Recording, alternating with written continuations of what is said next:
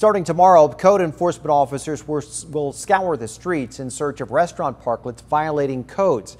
Our ABC 10 News reporter John Horn explains when those restaurants that refuse to fix violations could start facing fines. At South Park's Rad Habits Juice Company, the parklet outside is exactly what the city wants to see. They have their reflectors. And it doesn't come out into the um, traffic lane. It's staying in the area. It's staying in front of the business, so it's good. But Leslie Sennett knows that many other parklets around San Diego have work to do.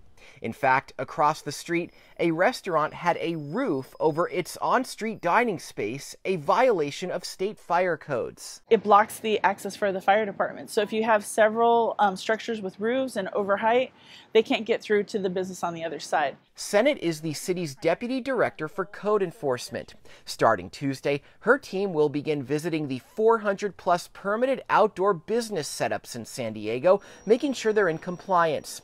When the pandemic hit, the city allowed businesses to expand onto sidewalks and streets. But instead of the simple parklets it envisioned, some restaurants spent tens of thousands of dollars making their parklets elaborate.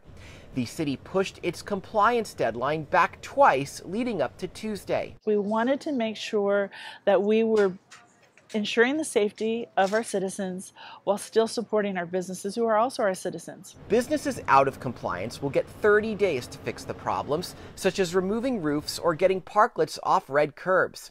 If they don't, they'll face a hearing where they could be fined $100 per violation per day, down from the original threat of $1,000.